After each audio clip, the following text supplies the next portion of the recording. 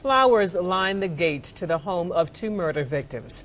Wreaths with ribbons that say in living memory hang for JT and Cristie Codd and their unborn child.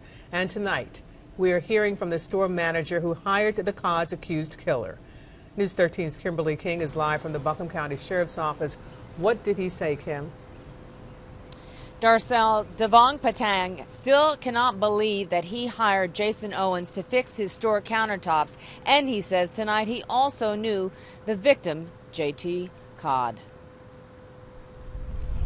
About two miles from the home of victims JT and Cristie Codd is the old Newfound Grocery and Tobacco, and inside store manager Devang Patel, who says he hired murder suspect Robert Jason Owens earlier this year to pull out countertops. I was shocked. Um, I couldn't believe it was him.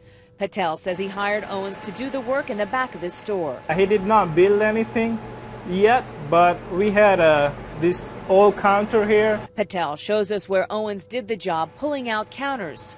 Kind of took that out, the whole thing. Here, the cut mark in the wood where he says Owens took out the counters. Patel now learning Owens is also a person of interest in the disappearance of Zebb Quinn. I had no idea about his past before, to be honest. I mean, when I read about the other things, I couldn't believe. I mean, it, it could have been him. Realizing he worked at the counter just feet away from Owens, I was scared that uh, he worked with me and I was here by myself. The last time Devang says he saw Jason Owens in the store was Thursday, February 12th.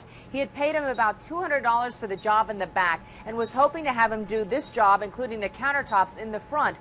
But he says Jason wouldn't get back to him with an estimate. Patel also says he knew one of the victims who came in the store. I knew the JT, JT too. So even JT asked me one day that Jason was going to work with uh, us and going to do the countertop. JT, he says, didn't elaborate, but Patel said JT seemed to know who Owens was when they talked about the work. He said, uh, "There's something you're putting new countertop." I said, "How? How do you know?" You know, say, "I know how people talk to me." Leicester is a small community where locals know one another, and it was known, police know it as well as friends of JT Codd, that he had hired Jason Owens in the past to do work for him. Reporting live at the Buncombe County Sheriff's Office off Leicester Highway, Kimberly King, News 13.